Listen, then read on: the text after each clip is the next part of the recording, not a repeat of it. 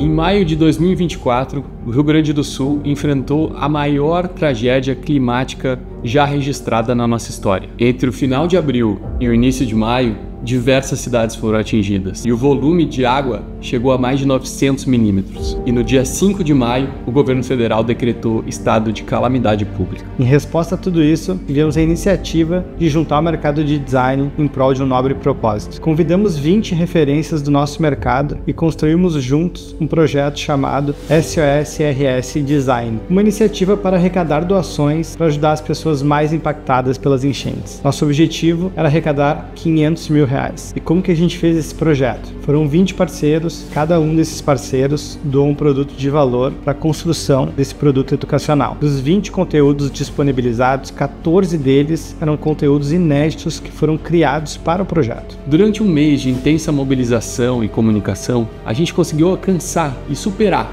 a meta de meio milhão de reais arrecadados. A campanha alcançou mais de 90 mil pessoas, gerando um grande movimento de apoio e solidariedade ao projeto. A gente sempre acreditou que design é sobre descobrir oportunidades que estão esperando para serem reveladas. E dessa vez não foi diferente. A gente criou um formato, um desenho para angariar recursos que deu certo.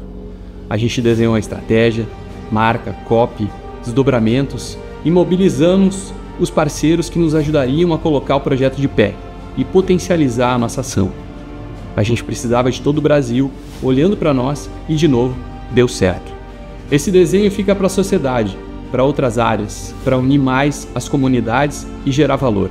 Somos muito gratos por essa união de criativos e corações, e a gente arrisca dizer que nossos parceiros nem sabem ainda a dimensão da ajuda que nos proporcionaram. Essa catástrofe foi e ainda está sendo algo que vai ficar marcado na vida de muitas pessoas. E nós escolhemos o dia 20 de setembro, dia em que o povo gaúcho comemora sua Revolução Farroupilha, para prestar contas a todos que colaboraram com essa iniciativa e provar que é possível também uma revolução pelo design. E para tornar tudo transparente em relação ao impacto e ao encaminhamento dessas doações, nós criamos um reporte que pode ser acessado na descrição desse vídeo. Que esse movimento inspire outras pessoas a transformarem pelo design e outras áreas. E tal como traz o hino rio-grandense, sirvam nossas façanhas de modelo a toda a terra.